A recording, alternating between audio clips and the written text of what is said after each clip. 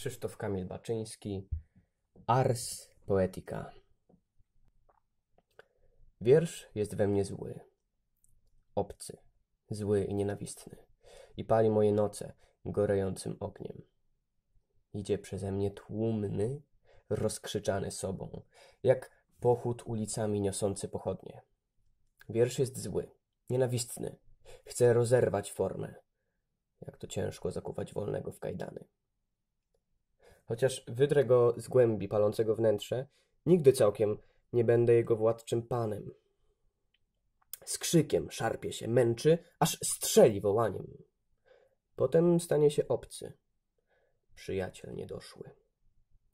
Stanie w progu zamarzłym, płonącym, stworzony. I pójdzie w mróz wieczorów, tam gdzie inne poszły.